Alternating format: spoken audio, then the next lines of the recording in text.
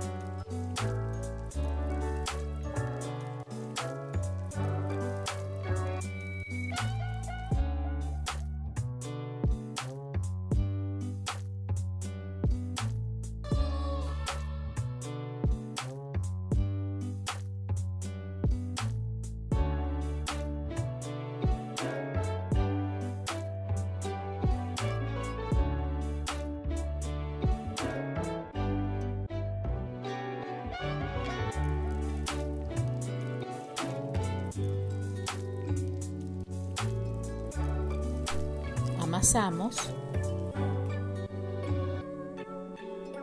y notamos que la masa tiene forma arenosa.